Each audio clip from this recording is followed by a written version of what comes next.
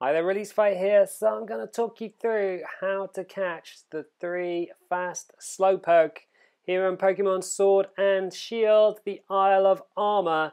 And uh, hopefully the video is going to help you out. If it does, drop me a like below. But you set off from the dojo and you'll head on into the soothing wetlands. And it won't take you too long to be able to find yourself at least one of the fast Slowpoke.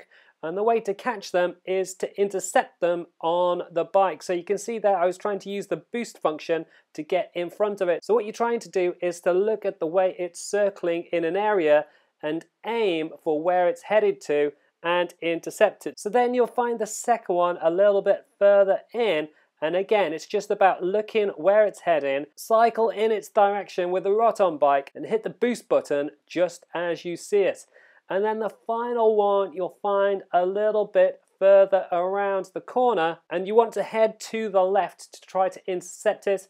However, an alternative method is to literally just park yourself in the path that you think it's going to follow and wait for it to run into you, which is pretty much what I did on the third one.